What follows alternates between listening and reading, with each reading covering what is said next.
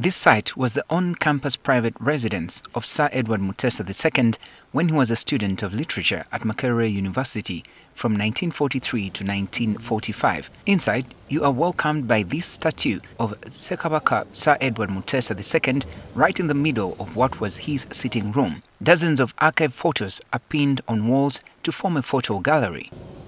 On the left is a small room which used to be his study room or library. It's also decorated with Mutesa's photos when he was Uganda's president.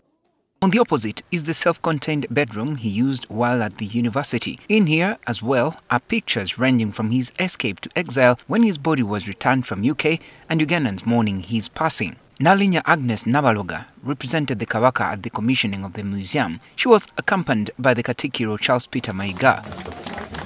Here you can see the photograph of Sir Edward Mutesa, your father. The deputy chairperson of the Makerere University Museum Committee, Associate Professor Kizito Maria Kasule, says the renovation of the house cost over 100 million Uganda shillings. We have no doubt that Sir Edward Mutesa, the second museum, will contribute to the economic, social, and cultural empowerment of the people of Uganda.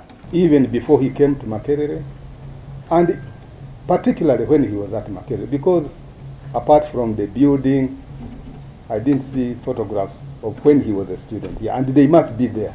We shall do what we can to partner with Makerere to ensure that this historic site is preserved and promoted.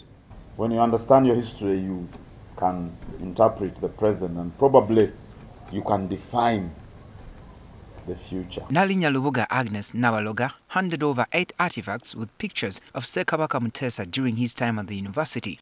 Again, again, Muloki was always close by.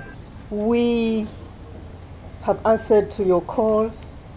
Maybe we thought that you may want to get something from us which can remind you and remind the rest of Uganda of our father during his stay here. She also unveiled a statue of Ssekabaka Mutesa II in the museum gardens.